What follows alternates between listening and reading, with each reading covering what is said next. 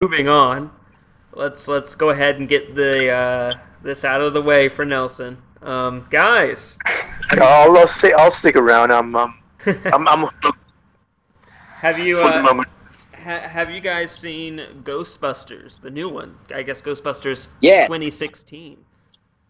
And I, And yeah, I guess we're just like like I said, we won't go through all the plot and all that. I guess just a quick summary of uh, your thoughts on the movie, and then your whatever your proprietary system is that you use. Um, uh, that's what you will give it. You know, your a score for it. So we'll begin with uh, with Nelson here. Nelson, tell me what you think of Ghostbusters 2016. Like, uh, I let Blake going first. I won. I won first last time. Okay. Uh, For the rest. just wants to shit on it last. Yeah. I, I, I want. I want to take a big dump. all right. I will not be taking a dump on it. I thought it was fine. I mean, it's pretty generic summer fare, honestly. Um, I mean, there's nothing really that spectacular about it. I, I feel like they were a bit slavish in in their kind of obeisance to the previous film. There's so many homages and things that Yeah. they that are in there that I suppose they felt they had to put in there. I I don't I personally don't think they had to put them in there. Like all the homages and cameos. Yeah, I will say that that that was the one thing I could critique on it. They crammed all those those cameos felt crammed. Yeah, it's like these things these things do nothing but hold it down. And what's more, they even date it too.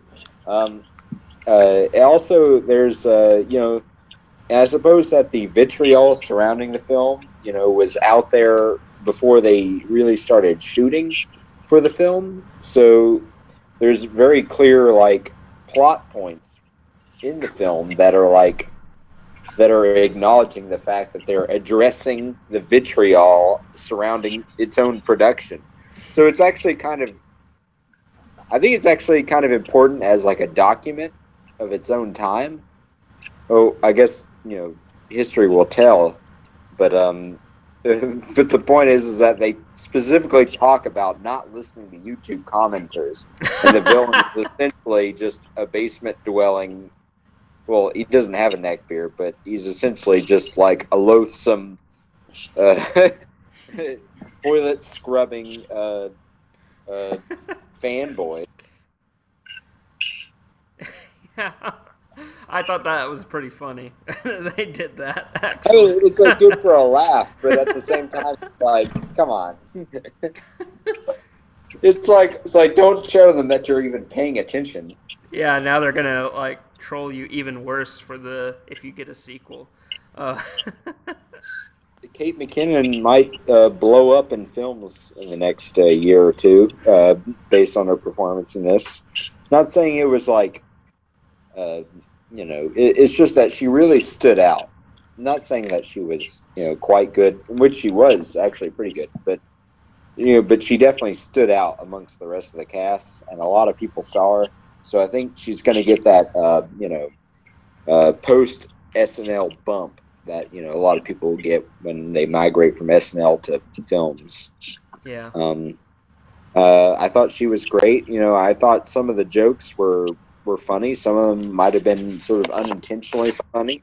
Yeah. Uh, I I laughed throughout uh, most for the most part. Uh, but yeah, you know, you, you kind of. But it's almost like laugh and then cringe at you know the uh, at the the the the movie either you know paying too much homage to its forebears or acknowledging the world outside of its own production. Yeah.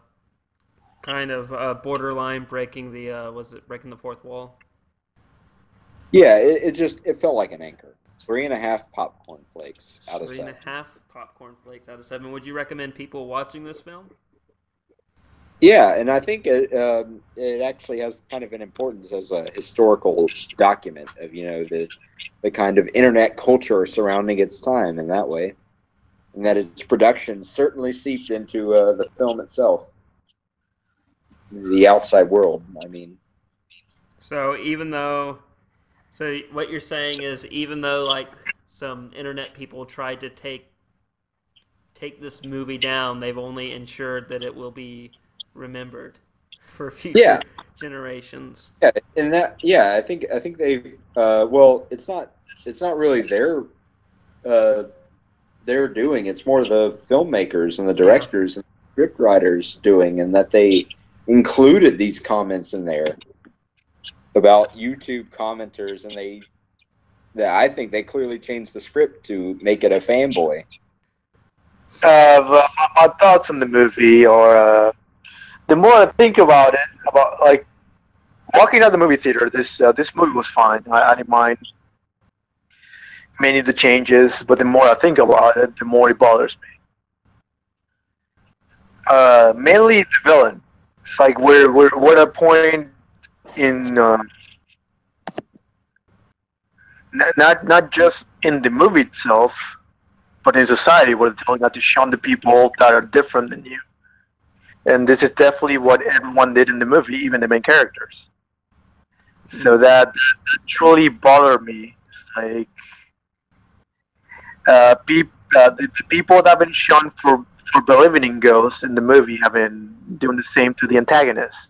So that really that that that's my bone to pick with it. Fine, it's, it's, it's a different thing with trying to beat you in the head with it. With the the, the, the thing about the villain being dislikable. Chris Hemsworth with Thor in the movie about him being stupid. he was He was good. favorite. He was Chris. Chris, I thought was funny. I still. Yeah, but they didn't try to beat you in the head with it. So those two things, like uh, the more I think about it, the more it bothers me. And again, the uh, the, the chemistry between the uh, I guess Kristen Wiig and Melissa McCarthy didn't really pan out with me that well. I like more the, the the other two supporting characters. Like they were my favorite. They were like the ones I were actually rooting for throughout the entire movie. The the the jokes were funny. I laughed a lot. Uh, I, like uh, it felt like the entire movie I was waiting for like the last, the third act, the badass uh, ghost busting scene, like where they're all just kicking ass. I feel like I didn't get enough of that through the film.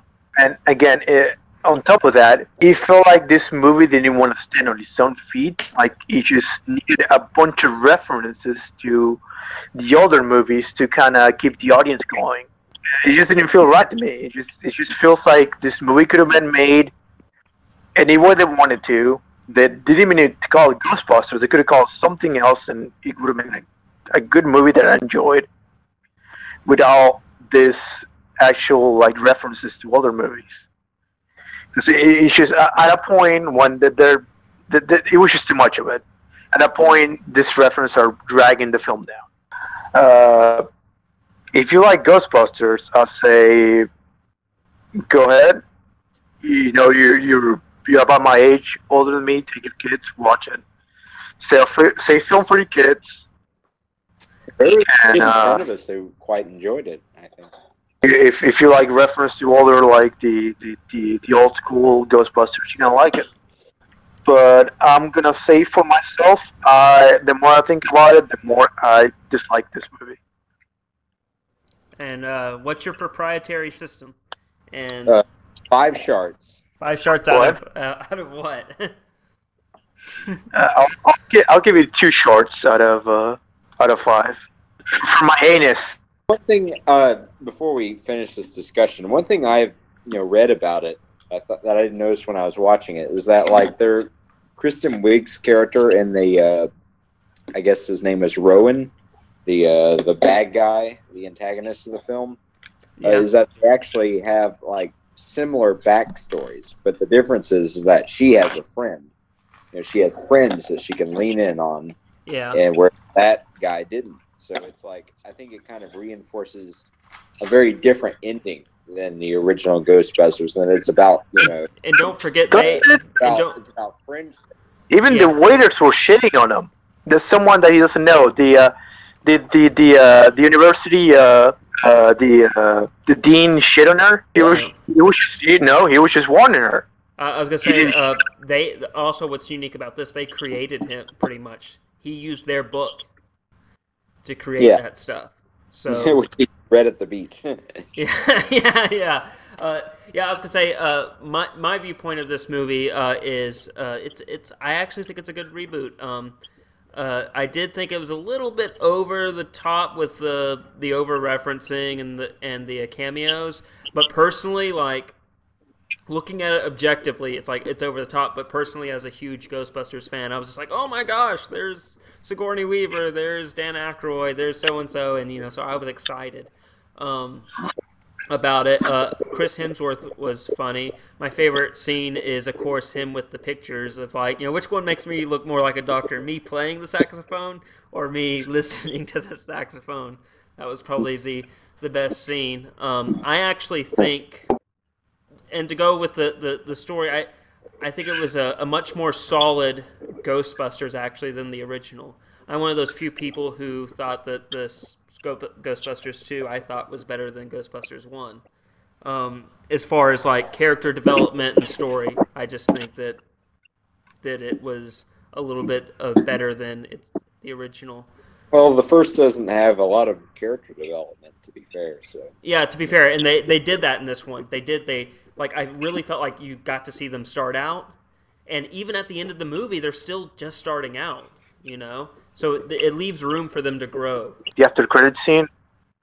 Uh, yeah, the talking about the um, where they talk about Zuul, where, where, they talk about Zuul, which which raises the stakes when they mention Zuul because look, they can barely yeah. take they can they barely took out that amateur, you know, guy. So what are they going to do when they go up against Zuul? So I feel like it's raising the stakes. So it has me excited to see what happens next. Speaking um, of credit scenes, I mean, there's this this film was clearly edited, you know, quite choppily, uh, in revealing that the dance sequence that you think is coming when you see it coming yes. only yes. happens after the movie is over. Thank you. I, I thought I'm glad that I'm not the only one who caught that. Like they did that, I'm like, oh god, they're gonna do like a Michael Jackson thriller, and it never happened. I'm like, that was odd. It was um, like they kept it down because comedy shouldn't run that long, I guess. I, I guess not. Like it was you know I, I enjoyed it. It's a Ghostbuster movie. Um, it was solid. It, it made me look. I'm looking forward to another one. A lot of great jokes. Um, I do some my critiques of the film would be. Um, I felt the final battle scene to me it was too. Uh, uh, to use one of your words for me, schlocky. I get, you know what I mean. It just seemed very stiff and very. Yeah, I, I wouldn't even call it schlock. It was just I mean, it was just a lot of CGI. Yeah, you know, I guess it, that's. It, on, it definitely ran on too long. It wasn't. It wasn't handled very tightly. It's like at a point they're like driving around, and it's and it's like they just kind of like sidle up to the bad guy. It's like, oh, hey, there you are. Yeah. You know, it, the, the the last third is is definitely a weakness of this film. Yeah, and I would like, and I hope they mention that if they do do another one, they barely beat that guy or that that creature. You know, they just lucked out. so I hope when they fight it's, the stakes will be really high. It was just like they really didn't. They like you said, they just kind of wandered around, and then they found the main place to fight him, and it was just like.